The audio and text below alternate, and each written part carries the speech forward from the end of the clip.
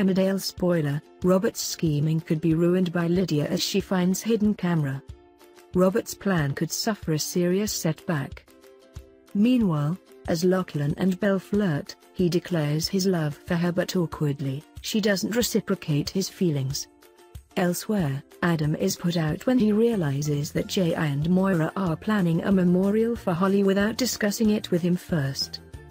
Also, Vanessa and Pearl make a discovery. End the second episode of the evening. Robert is on the back foot after his latest setback. What will he do next?